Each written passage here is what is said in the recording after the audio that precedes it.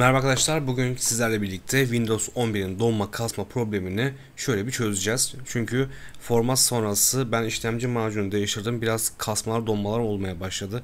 Bir neler yapacağız onu gösterelim arkadaşlar size.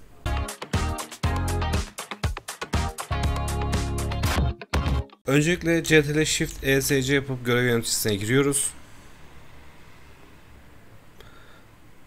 Bunu geniş ekran alayım. Bakın burada Windows ile ilgili bir dosya var. Onu bakalım. Windows gezgini. Buna sağ tıklıyoruz. Yeniden başlat diyoruz arkadaşlar. Bu birinci maddemiz.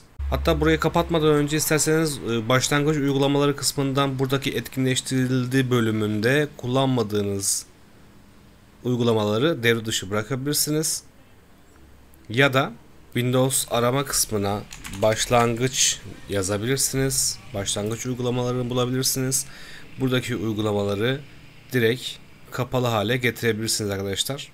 Daha sonra Windows C çünkü burada Windows'un scroll'u buraya sağ tıklayıp özellikler diyeceğiz.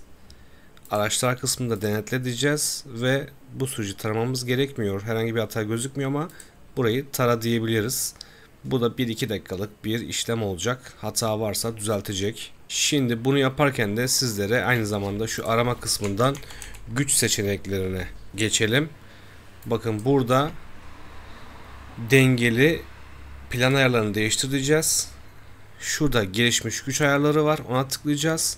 Şurada PCI Express yazıyor. Bağlantı durumu güç yönetimi kısmını açacağız.